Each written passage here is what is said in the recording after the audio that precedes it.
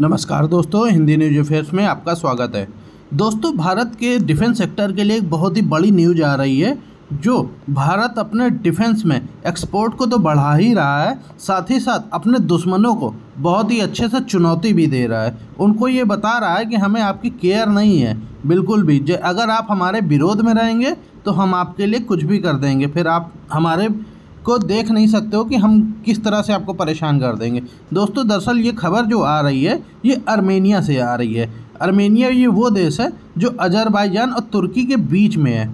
तो दोस्तों, आपको बता दें कि भारत ने अपना Akash air defence system Armenia को अब डिलीवर करना शुरू कर दिया है। भारत और अर्मेनिया के बीच में डिफेंस को लेकर के एक डील हुई थी, जिसमें उन्हें यह था कि वो Akash air defence system Bharat से परचेज़ करेंगे। तो भारत ने अब उसकी डिलीवरी दे दी है।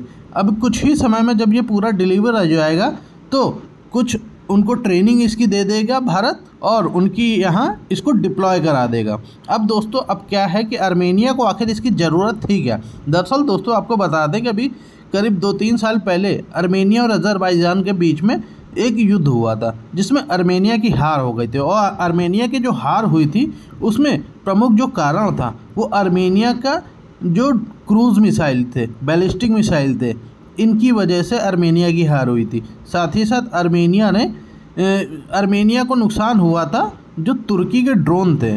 तुर्की ने अपने ड्रोन दे दिए थे अर्मेनिया को अज़रबैजान को और अज़रबैजान ने उस ड्रोन का इस्तेमाल किया उस युद्ध में और अर्मेनिया उसकी वजह से हार गया। अदरवाइज़ स्टार्टिंग में जब युद्ध चल रहा था तो अर्मेनिया युद्ध में बहुत आगे था। उसने बहुत नुकसान किया था अज़रबैजान का। और आपको बता दें कि अर्मेनिया की जो एयरफोर्स है, वो बहुत ही अच्छी है इन कंपेयर टू अज़रबैजान लेकिन जब वो क्रूज़ मिसाइल वगैरह उसने दागनी स्टार्ट करी तो अर्मेनिया उसका जवाब दे नहीं पाया, क्योंकि इसके पास एयर डिफेंस सिस्टम था नहीं। तो ये कोई वैसा मतलब फ़ायदा नहीं ले पाए और युद्ध में हार गए जिसकी वजह से इनको अपनी बहुत सी ज़मीन का नुकसान सहना पड़ा। इनको बहुत नुकसान हो गया। तो इसके लिए अब अर्मेनिया को ये चाहिए था कि जो क्रूज़ मिसाइल और बैलिस्टिक मिसाइल को रोक सके ऐसी कोई मिसाइल होनी चाहिए एयर डिफेंस सिस्टम होना चाहिए। तो इसके लिए फिर इन्होंने भारत से संपर्क किया और भारत ने इनको आ, सभी को देने के लिए हाँ करी और उसकी अब डिलीवरी स्टार्ट हो गई। तो ये आर्मेनिया के लिए बहुत ही बड़ी चीज़ है कि अब इसके पास वो एयर डिफेंस सिस्टम होगा, जिसकी वजह से अब ये उन क्रूज मिसाइल और बैलिस्टिक मिसाइल्स को जवाब दे सकते हैं। क्योंकि अब ये जो एयर डिफेंस सिस्टम जब तैनात हो जाएगा तो आर्मेनिया अपनी जब बॉर्डर पे इसको लगाएगा तो अज़रबैजान या किसी और दूसरे देश से आर्मेनिया के ऊपर मिसाइल से जब हमले किए जाएँगे तो ये आकाश डिफेंस सिस्टम ऑटोमेटिक उसको डिटेक्ट कर लेगा और उस मिसाइल को उड़ा देगा, जो भी आएगी। तो ये तो अपना इन्होंने सेफ्टी कर ली आर्मेनिया ने। इससे दोस्तों, भारत आखिर कैसे किसी से पंगे ले रहा है कैसे उसको समझा रहा है?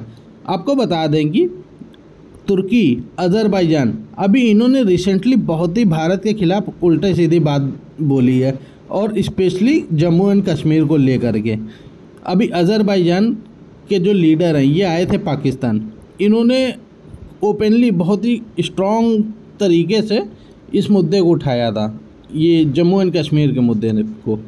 तो भारत ने भी सोचा कि ठीक है, आप हमारे जब रीजन में आ रहे हो और हमारे ख़िलाफ़ बोल रहे हो तो हम आपके बिल्कुल जो बगल में ही आप, आपका जो दुश्मन है, जिससे आपकी लड़ाई झगड़े हो रहे हैं तो हम उसको ही कुछ चीज़ें दे देते हैं। तो आपको पता लगेगा कि हम क्या कर सकते हैं। और साथ ही साथ तुर्की को भी जवाब इससे मिल रहा है, क्योंकि अज़रबैजान और तुर्की, ये आपस में दोस्त हैं। ये दोनों मुस्लिम कंट्रीज़ हैं, जबकि आर्मेनिया जो है क्रिश्चियन कंट्री है। तो वो वैसे भी अकेले क्रिश्चियन कंट्री है तो अकेला पड़ गया वो वहाँ पर। क्योंकि एक साइड पे तुर्की, दूसरे साइड पे अज़रबैजान और फिर एक साइड पे ईरान। हालाँकि ईरान आर्मेनिया का दोस्त है, कोई नुकसान नहीं करता है। तो ये आर्मेनिया के लिए एक अच्छी चीज़ है। आपको बता दें कि इससे भारत को कई तरीके से फ़ायदा है। एक तो वो अपने दुश्मनों को जवाब इससे दे रहा है। दूसरी चीज़, अर्मेनिया जैसा एक कंट्री हमारा दोस्त भी बन रहा है। तीसरा जो सबसे बड़ा फ़ायदा है, वो हमारे डिफेंस मार्केट को है।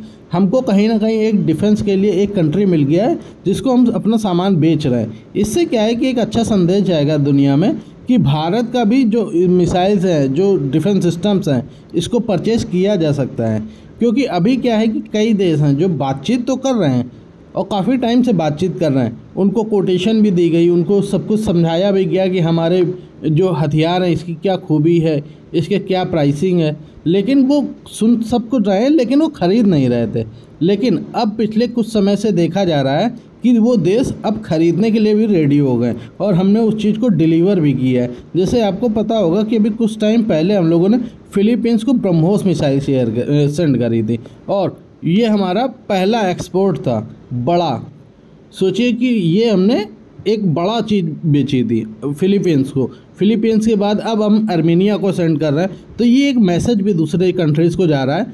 अभी ये समझ लिए दुनिया के अंदर जो सबसे ज़्यादा एक्सपोर्ट करते हैं, वो यूएसए करता है रसिया करता है। तो हमको भी अगर आगे बढ़ना है तो हमारा भी कहीं कुछ अच्छा नाम हो जाए।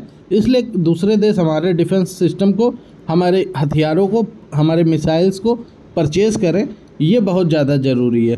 तो अब ये दूसरे देश देखेंगे और इससे उम्मीद है कि परचेज़ करेंगे, जिसमें अब अगला नाम ब्राज़ील का आता है। शायद ब्राज़ील अब हमसे दस हज़ार करोड़ की जो डील करीब कर चुका है, उसको वो अब हमसे परचेज़ करेगा। ठीक है दोस्तों, अब इससे कुछ और अपडेटेड न्यूज़ आएगी तो मैं आपके लिए अपडेटेड वीडियो लेकर आऊँगा। धन्यवाद।